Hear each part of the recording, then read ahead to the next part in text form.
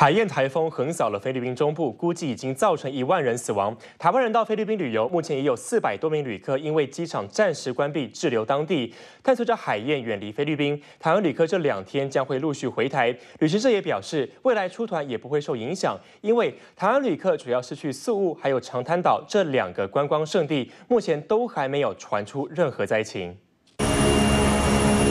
机场残破不堪，塔台内部一片狼藉。台风海燕重创菲律宾中部，造成部分交通中断。长滩岛机场 Calibo 暂时关闭，四百多名台湾旅客滞留长滩岛。十一、十二号两天将陆续返台，但行程已经受到影响。菲律宾航空公司本来昨天有一架次的飞机要回来，那因为机场关闭的原因，没有办法回来。长滩岛九九九九。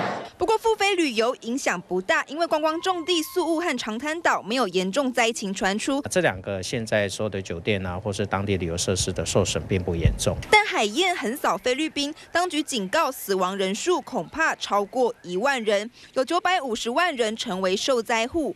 被称为魔鬼台，海燕成为史上威力最强的台风之一。上层的海温整个整层都非常的温暖哈，那所以这个能量累积的相当的大。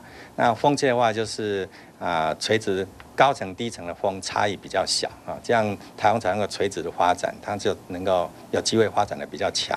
目前海燕转为青台，十一号上午登陆越南，以每小时十一公里的速度前进。越南当局如临大敌，紧急疏散六十万人，防患未然。U N T V 陈庭玉、吴佩如台北报道。